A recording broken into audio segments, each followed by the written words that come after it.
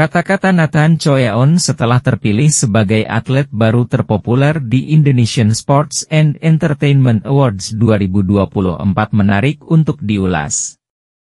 Sebab, ia mengalahkan sejumlah nama tenar.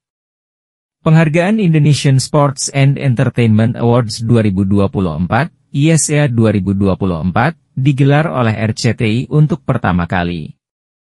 Ajang ini merupakan apresiasi bagi para atlet dan selebritis Indonesia.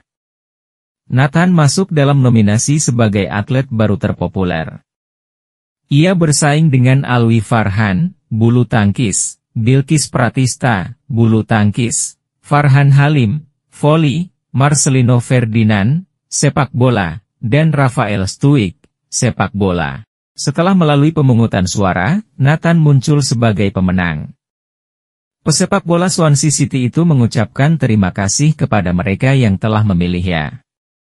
Saya ingin mengucapkan terima kasih untuk dukungannya, untuk memilih saya, dan mendukung kami serta tim nasional. Kami sangat mengapresiasinya, kata Nathan lewat video, dikutip Minggu, 30 Juni 2024.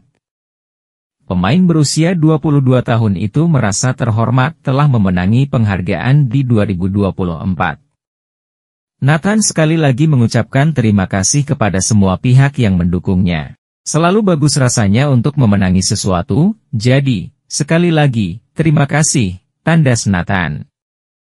Popularitas Nathan memang tengah menanjak seiring penampilannya bersama timnas Indonesia. Pria berdarah Belanda itu juga menjadi buruan para penggemar, terutama kaum hawa, berkat parasnya yang tampan. Itu tadi kata-kata Nathan Choeon setelah terpilih sebagai atlet baru terpopuler di Indonesian Sports and Entertainment Awards 2024. Semoga penghargaan ini memicu sang pesepak bola untuk lebih baik lagi. Terima kasih sudah nonton, update terus berita-berita di Buat Makan TV. Sampai jumpa.